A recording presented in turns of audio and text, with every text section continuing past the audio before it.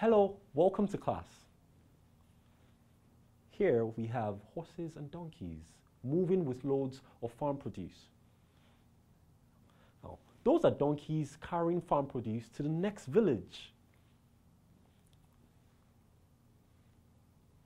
Now that is Austin on the tractor and Clement harvesting cassava. They are all working, putting energy to work on the farm. And this brings us to today's lesson, which is farm power. What would you describe as power? For instance, if you're able to lift a bag filled with sand to your shoulder, does it describe your power? Of course it does. How about those horses or donkeys moving with loads on them? Yes, they have power as well. In simple terms, power is the rate of doing work, like the rate of sweeping. Power, the rate of cooking or writing, is power. The act of clearing lands, harvesting crops, or even just feeding the chickens is farm power.